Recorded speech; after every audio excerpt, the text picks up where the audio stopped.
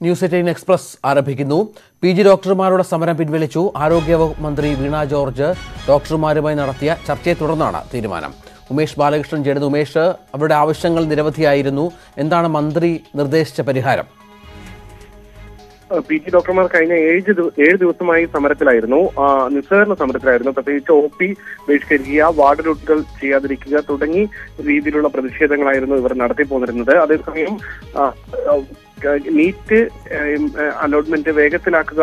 P G allotment വേഗത്തിലാക്കുക എന്ന് എന്നീ ആവശ്യങ്ങളായിരുന്നു അവർ പ്രധാനമായി ഉന്നയിച്ചത്. പക്ഷെ അതിൽ സംസ്ഥാന സർക്കാർ ഒന്നും ചെയ്യാൻ കഴിയില്ല. കാരണം സുപ്രീം കോടതി ഇടപെട്ട വിഷയമാണ്. അതുകൊണ്ട് തന്നെ കേന്ദ്രത്തെ ഇക്കാര്യം അറിയിക്കാമെന്ന ഉറപ്പ് ആരോഗ്യമന്ത്രി നൽകി. അതുകൂടാതെ ഇവരുടെ ജോലി ഭാരം കൂടുതലാണ്. കാരണം അത്തരത്തിൽ പി ജി ഡോക്ടർമാരുടെ അലോട്ട്മെന്റ് കൃത്യമായി നീറ്റ് അലോട്ട്മെന്റ് വേഗത്തിലാക്കാത്തത് കൊണ്ട് തന്നെ പി ജി ഡോക്ടർമാർ പുതുതായി അപ്പോയിന്റ്മെന്റ് ചെയ്യാൻ കഴിയുന്നില്ല. അതുകൊണ്ട് തന്നെ ജോലിഭാരം ജോലി ഭാരം കുറയ്ക്കാനായി സീനിയർ റെസിഡൻസിനെ രണ്ട് ദിവസത്തിനകം നിയമിക്കാം എന്നുള്ള ഒരു ഉറപ്പ് ഉദ്യോഗസ്ഥർക്ക് ഈ ക്ഷമിക്കണം സമരം ചെയ്യുന്ന പി ജി ഡോക്ടർമാരുടെ പ്രതിനിധികൾക്ക് നൽകിയിട്ടുണ്ട്. ഈ ഉറപ്പിന്മേലാണ് ഇപ്പോൾ സമരം പിൻവലിച്ചിരിക്കുന്നത്. നാളെ മുതൽ കാഷ്വാലിറ്റി ഡ്യൂട്ടികൾ അടക്കം ബഹിഷ്കരിച്ചുള്ള സമരത്തിലേക്ക് നീങ്ങാനായിരുന്നു ഇവർ പ്രഖ്യാപിച്ചിരുന്നത്. എന്തായാലും അക്കാര്യത്തിൽ നിന്ന് പിന്നോട്ട് പോയിട്ടുണ്ട്. അതേസമയം രാജ്യം മുഴുവൻ പി ജി ഡോക്ടർമാർ ഇത്തരത്തിൽ ഈ ആവശ്യം ഉന്നയിച്ച് സമരം തുടരുന്നുണ്ട്. ശരി.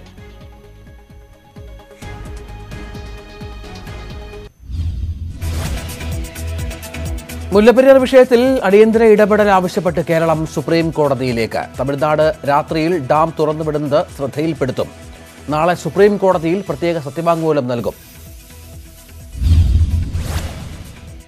തമിഴ്നാട് നിലപാട് അംഗീകരിക്കാനാകില്ലെന്ന് മന്ത്രി റോഷി അഗസ്റ്റിൻ. മുല്ലപ്പെരിയാറിലെ സാഹചര്യം ഇന്ന് ചേർന്ന ഉന്നതതല യോഗം ചർച്ച ചെയ്തു. നിലവിലെ സാഹചര്യം മന്ത്രി റോഷി അഗസ്റ്റിൻ മുഖ്യമന്ത്രിയെ ധരിപ്പിച്ചു. ഡാമിൽ ജലനിരപ്പ് ഉയരുന്ന സാഹചര്യത്തിൽ കൂടുതൽ സ്പിൽവേ ഷട്ടറുകൾ തുറന്നു. നിലവിൽ തുറന്നിരിക്കുന്ന മൂന്ന് ഷട്ടറിന് പുറമെ രണ്ടെണ്ണം കൂടി ഉയർത്തി. രണ്ടായിരത്തി തൊണ്ണൂറ്റി ഒൻപത് ദശാംശം ഒൻപത് അഞ്ച് ഖനയടി ജലം പുറത്തേക്ക് ഒഴുക്കി. തുടർച്ചയായി മുല്ലപ്പെരിയാർ അണക്കെട്ടിൽ നിന്ന് രാത്രി ജലമൊഴുക്കി വിടുന്നതിൽ നാട്ടുകാർക്ക് വൻ പ്രതിഷേധം. ഇന്നലെ രാത്രിയും ഈ സീസണിലെ ഏറ്റവും ഉയർന്ന അളവിൽ തമിഴ്നാട് വെള്ളം ഒഴുക്കിവിട്ടതിനെ തുടർന്ന് വള്ളക്കടവ് ചപ്പാത്ത് മേഖലകളിലെ ജനവാസ കേന്ദ്രങ്ങളിൽ വെള്ളം കയറി. സംസ്ഥാന സർക്കാർ അവഗണിക്കുന്നവരും അവഗണിക്കുന്നുവെന്ന് നാട്ടുകാരുടെ വിമർശനം. സ്ഥലത്തെത്തിയ മന്ത്രി റോഷി അഗസ്റ്റിനും റവന്യൂ ഉദ്യോഗസ്ഥർക്കുമെതിരെയും പ്രതിഷേധം ഉണ്ടായി. തമിഴ്നാടിന്റേത് അനാവശ്യ പിടിവാശിയെന്ന ഡീൻ കുര്യാക്കോസ് എം പി. മുഖ്യമന്ത്രിയുടെ മൗനമാണ് തമിഴ്നാട് നിലപാട് തുടരാൻ കാരണം. യുദ്ധമുഖത്ത് വെച്ച് സൈനാധിപൻ പിന്മാറുന്നത് പോലെയാണ് മുഖ്യമന്ത്രിയുടെ നിലപാടെന്നും ഡീൻ കുര്യാക്കോസ്. മുല്ലപ്പെരിയാറിൽ സംസ്ഥാന സർക്കാരിനെതിരെ കടുത്ത വിമർശനവുമായി ഡീൻ കുര്യാക്കോസ് എം പി. സർക്കാരിന്റെ ഭാഗത്തുനിന്ന് ശക്തമായ പ്രതിഷേധം ഉണ്ടാകുന്നില്ലെന്ന് ഡീൻ ന്യൂസ് എയ്റ്റീനോട്. മുന്നറിയിപ്പില്ലാതെ മുല്ലപ്പെരിയാർ അണക്കെട്ട് തുറക്കുന്നത് ഭയാനകമായ സാഹചര്യമെന്ന് Jose K Mani M P. തിരുത്തരവാദപരമായ നിലപാടാണ് തമിഴ്നാടിന്റേത് മുല്ലപ്പെരിയാർ വാട്ടർ ബോംബായി ഇരിക്കുകയാണെന്നും പ്രധാനമന്ത്രിയുടെ ഇടപെടൽ അനിവാര്യമാണെന്നും എം പി.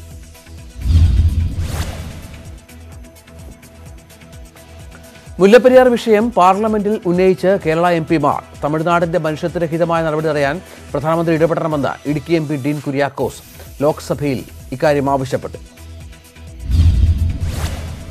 മുല്ലപ്പെരിയാർ ജലം തുറന്നുവിടുന്നതിൽ ജലവിഭവ വകുപ്പ് മന്ത്രിയുടേത് അതിശയിപ്പിക്കുന്ന നിലപാടെന്ന് പ്രതിപക്ഷ നേതാവ്. സർക്കാർ ആരെയാണ് ഭയപ്പെടുന്നത്? ചെറുവിരൽ പോലും സർക്കാർ അനക്കുന്നില്ല. കയ്യും കെട്ടിയിരിക്കുകയാണ് സർക്കാർ. മുഖ്യമന്ത്രി മൗനം വെടിയണമെന്നും സതീശൻ. മുഖ്യമന്ത്രി കത്ത് നൽകിയപ്പോൾ കൂടുതൽ ഷട്ടർ തുറക്കാനാണ് തമിഴ്നാട് തയ്യാറായതെന്ന് പി സി ജോർജ്. സർക്കാർ വഴുവഴുപ്പൻ നിലപാട് മാറ്റണം. പുതിയ ഡാം പണിയാൻ കേരളം തയ്യാറാകണം. സുപ്രീം കോടതി വിധി നോക്കിയിരുന്നാൽ ഇനി പറ്റില്ല. ഡാം പൊട്ടി കടലിൽ വെള്ളമെത്തിയാൽ സുനാമി ഉണ്ടാകുമെന്നും പി സി ജോർജ്.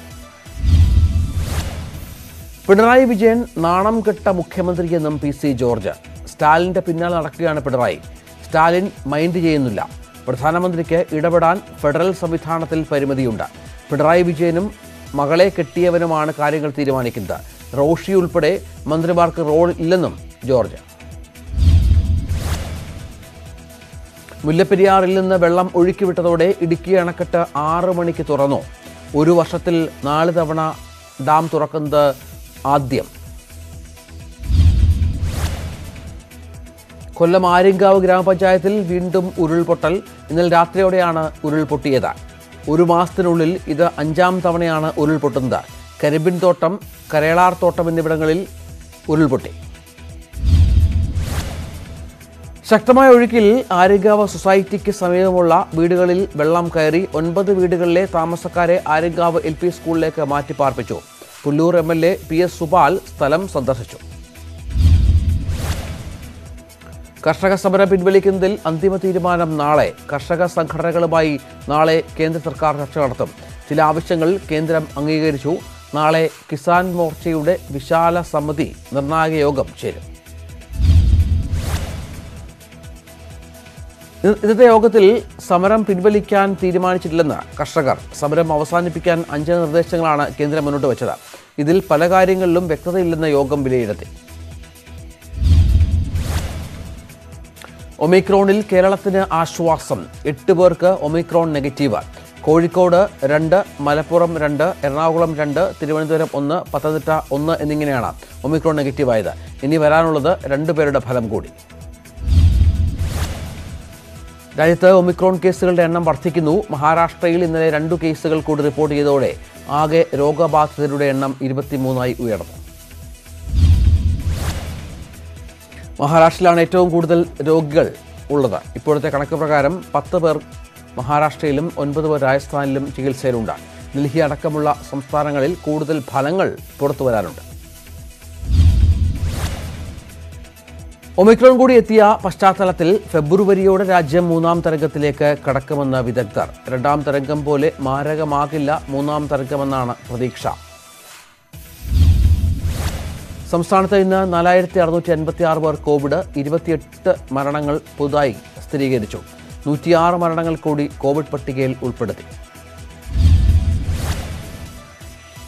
ഏതു കാര്യത്തിലും വ്യത്യസ്ത അഭിപ്രായമുള്ളവരാണ് ഇപ്പോൾ വാക്സിൻ വേണ്ടെന്ന് പറയുന്നതെന്ന് മുഖ്യമന്ത്രി. അധ്യാപകരിൽ കുറേ പേർ വാക്സിൻ എടുത്തിട്ടില്ല. അവർ വാക്സിൻ എടുക്കണം. വാക്സിൻ എടുക്കാത്തവർ രോഗികളായാൽ ചെലവ് സ്വയം വഹിക്കണമെന്നും മുഖ്യമന്ത്രി. ഇടവേളയാണ് കൂടുതൽ വാർത്തകൾക്കും വിശദാംശങ്ങൾക്കും Malayalam dot news eighteen dot com.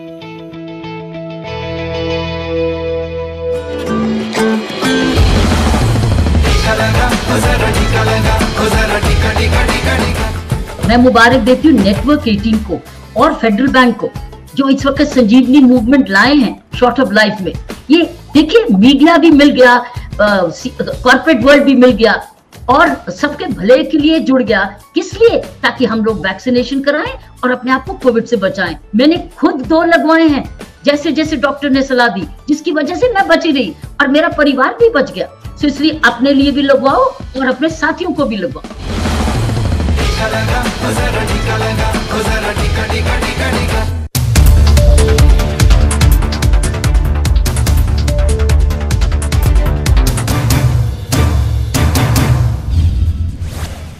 വഖഫ് ബോർഡ് നിയമനം പി എസ് സിക്ക് വിട്ട നടപടി തിരക്കിട്ട് നടപ്പാക്കില്ല. സമസ്ത നേതാക്കളുമായുള്ള ചർച്ചയിലാണ് മുഖ്യമന്ത്രി ഇക്കാര്യം അറിയിച്ചത്.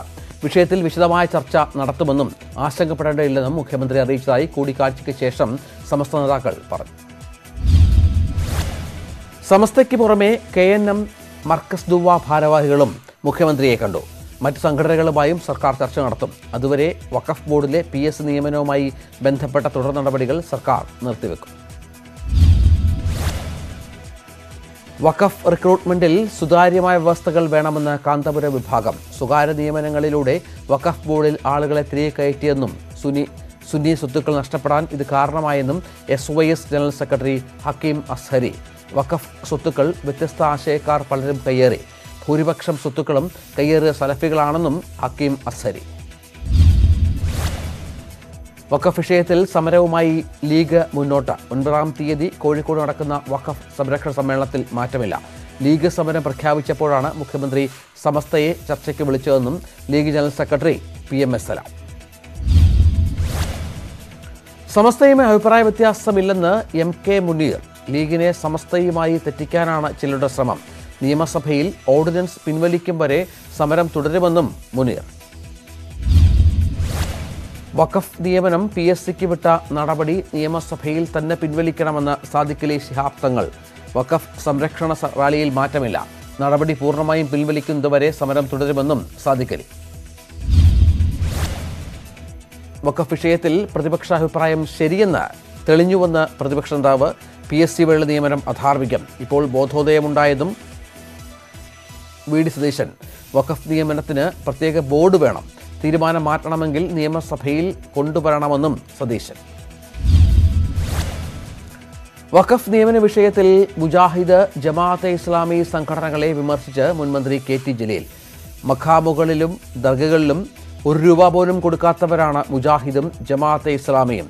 അവർക്ക് എങ്ങനെയാണ് വഖഫ് ബോർഡിന് ചുമതല നൽകാനാവുകയെന്നും ജലീൽ. വിഷയത്തിൽ സർക്കാർ സംഘടിത ശക്തികൾ കീഴ്പ്പെട്ടത് കെ സുരേന്ദ്രൻ.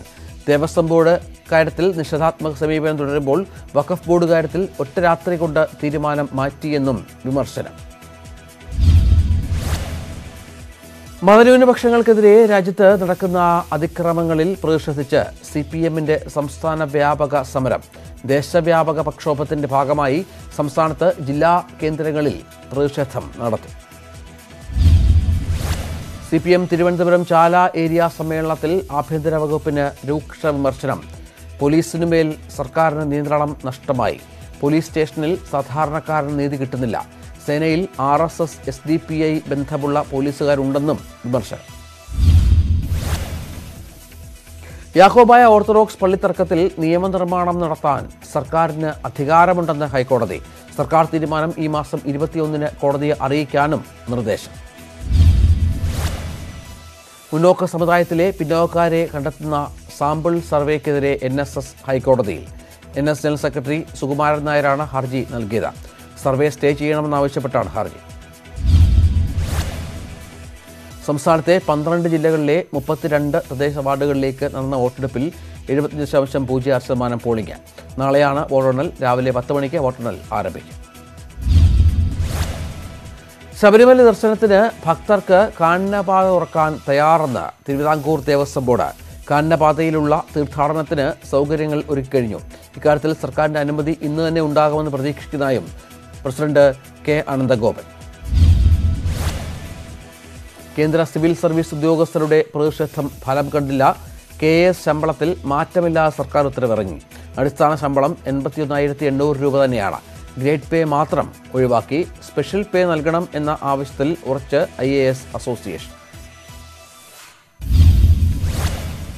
ഇടവേളയാണ് കൂടുതൽ വാർത്തകൾക്കും വിശദാംശങ്ങൾക്കും Malayalam dot news eighteen dot com.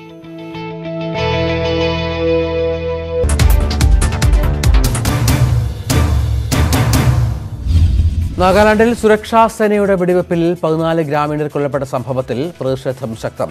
സൈന്യം തിരികെ പോകണമെന്നാണ് ആവശ്യം. നിരോധനാജ്ഞ നിലനിൽക്കുന്ന മോൺ ജില്ലയിൽ സുരക്ഷ കർശനമാക്കി. നാഗാലാൻഡ് വെടിവെപ്പിൽ സേനയുടെ ആഭ്യന്തര അന്വേഷണവും തുടരുകയാണ്. മേജർ മേജർ ജനറൽ റാങ്കിലുള്ള ഉദ്യോഗസ്ഥനാണ് അന്വേഷണത്തിന് നേതൃത്വം നൽകുന്നത്. വെടിവെപ്പിൽ അർദ്ധ സൈനിക വിഭാഗത്തിനെതിരെ നാഗാലാൻഡ് പോലീസ് കേസ് രജിസ്റ്റർ ചെയ്തിട്ടുണ്ട്. കഴിഞ്ഞ വർഷത്തെയും ഈ വർഷത്തെയും ജ്ഞാനപീഠ പുരസ്കാരങ്ങൾ പ്രഖ്യാപിച്ചു. അൻപത്തിയാറാം ജ്ഞാനപീഠ പുരസ്കാരത്തിന് അസമീസ് സാഹിത്യകാരൻ നീൽമണി ഫൂക്കൻ അർഹനായി. ഈ വർഷത്തെ പുരസ്കാരം കൊങ്കണി സാഹിത്യകാരൻ ദാമോദർ മോസോയ്ക്ക്. എം പിമാർ സസ്പെൻഷനിൽ രാജ്യസഭയിൽ ഇന്നും പ്രക്ഷുബ്ധം. സസ്പെൻഷൻ നടപടി പിൻവലിക്കണമെന്ന് ആവശ്യപ്പെട്ടുള്ള പ്രതിപക്ഷ പ്രതിഷേധം കനത്തോടെ സഭ ഏറെ നേരം നിർത്തിവെക്കേണ്ടി വന്നു. പാർലമെന്റ് സമ്മേളനം ബഹിഷ്കരിക്കാൻ ടി ആർ എസ് എം പിമാർ തീരുമാനിച്ചു. ഈ സമ്മേളന കാലയളവ് മുഴുവൻ ബഹിഷ്കരണം തുടരും. നെല്ല് സംഭരണം എം പിമാരുടെ സസ്പെൻഷൻ ഉൾപ്പെടെയുള്ളവയിൽ പ്രതിഷേധിച്ചാണ് തീരുമാനം. പൂവാർ റിസോർട്ടിലെ ലഹരി പാർട്ടിയിൽ അന്വേഷണം വ്യാപിപ്പിച്ച എക്സൈസ്. അന്വേഷണ ചുമതല assistant excise commissioner S Vinod കുമാറിന്റെ നേതൃത്വത്തിലുള്ള പ്രത്യേക സംഘത്തിന്. പ്രധാന പ്രതികളായ അക്ഷയ് ബോഹൻ അതുൽ എന്നിവർക്ക് കൊച്ചി കേന്ദ്രീകരിച്ചുള്ള ലഹരി പാർട്ടികളുമായി ബന്ധമുണ്ടോ എന്നും അന്വേഷിക്കും. പൂവാൾ നടന്നത് ക്രിസ്തുമസ് ന്യൂ ഇയർ ഇവന്റുകൾ ലക്ഷ്യം വെച്ചുള്ള പാർട്ടി. പാർട്ടി സംഘടിപ്പിച്ച നിർവാണ ഗ്രൂപ്പ് ഫാഷൻ ഷോ ഉൾപ്പെടെയുള്ള പരിപാടികൾ പൂവാറിൽ സംഘടിപ്പിക്കാൻ പദ്ധതിയിട്ടിരുന്നതായും സൂചന. പാർട്ടിക്ക് ലഹരി ബനെത്തിക്കാൻ തിരുവനന്തപുരത്തെ കുപ്രസിദ്ധനായ ഗുണ്ട നേതാവ് സഹായം ചെയ്തോ എന്ന കാര്യവും പരിശോധിക്കും.